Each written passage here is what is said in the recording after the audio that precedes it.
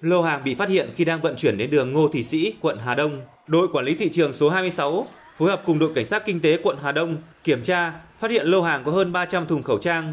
Mỗi thùng có khoảng 2.400 chiếc, có thùng được đóng 10 chiếc một túi, có thùng thì được đóng 50 chiếc một hộp, tổng số lượng khoảng 800.000 chiếc với nhiều nhãn mác khác nhau.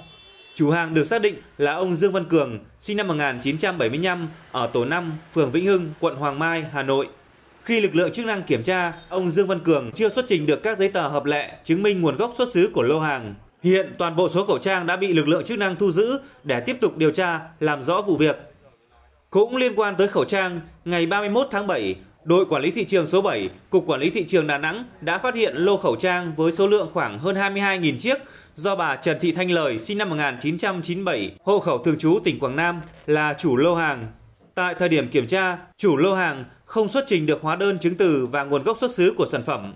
Hiện Cục Quản lý Thị trường Đà Nẵng đã lập biên bản tạm giữ toàn bộ số khẩu trang trên để tiếp tục điều tra, làm rõ và xử lý theo quy định của pháp luật.